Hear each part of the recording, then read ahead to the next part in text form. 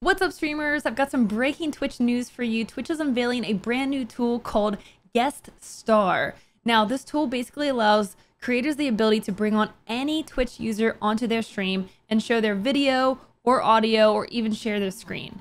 Streamers can host and manage their guests directly within Twitch Studio or OBS. Now, as a streamer, you and your mods are going to have full control over who gets invited, whether they're allowed to use their camera or just their audio, if they're allowed to share their screen, and even adjust their audio levels, apparently. Um, and guests can be kicked out at any time, so don't worry about that.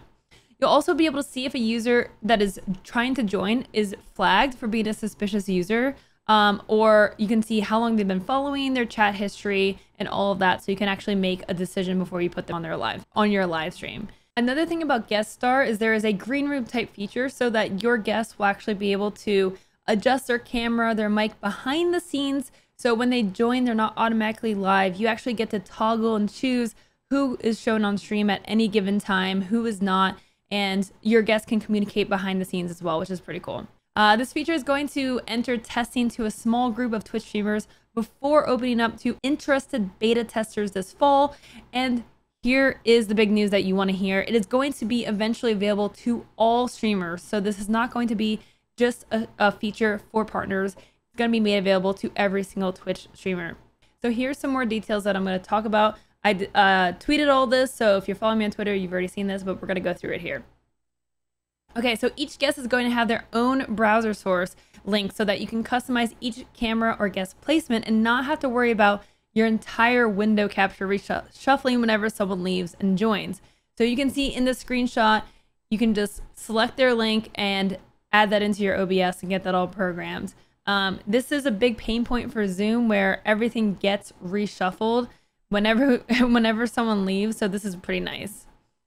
In addition, you can invite any user on Twitch. You can make a list of favorites, sort by subscribers, people you follow, mods, VIPs, and more. You can view each user's history card here too, so you can see how long they've been following and the chat history. This is definitely a really cool feature. You can invite literally anyone. And on the flip side, you can also open up requests so that people who are watching your stream can actually request to come on. This allows you to customize whether it's just followers, subscribers, or just anyone that's in the channel. You can even limit this to audio only, as you can see right here. And your viewers are going to basically see a little pop-up that says requests are turned on and who they're turned on for with instructions on how to join. In terms of moderation, you can customize which of your mods have access to managing your guest star tool and what power they have. This is really awesome. So let's say you don't want all your mods to have access to being able to invite guests or approve people onto the show, you can actually customize who of your mods gets to actually join here. Okay, so you can toggle all that on and off.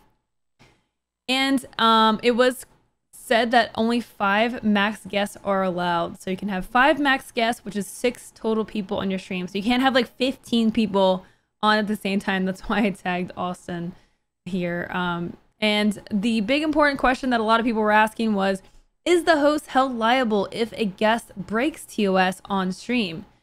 The answer is pretty fair. If the host denounces the action and removes the guest immediately, then they will not face a penalty. But if the host doesn't act, maybe they go along with it or they just let the guests say all these TOS breaching things, they could get penalized. You could get banned if you let the guests uh, do that. So definitely make sure you keep your guests in check, but you don't have to worry about potentially about someone, you know, saying something and you just instantly getting banned. So I do have a couple of concerns. You know, Twitch does tend to release features and then kind of give up on them um, before they reach their best possible version. I'm worried that this might be another one of those features that, you know, streamers end up spending a lot of time and get invested into using it, and then Twitch just either forgets about it or just gets rid of it completely.